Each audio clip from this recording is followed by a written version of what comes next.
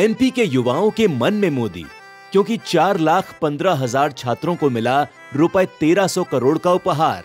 उच्च शिक्षा का सपना हुआ साकार। 20 वर्षों में विकास अपार, फिर इस बार भाजपा सरकार। संकल्प लेने के लिए सात शून्य शून्य शून्य, दो तीन शून्य, दो तीन शून्य पर मिस्ड कॉल करें।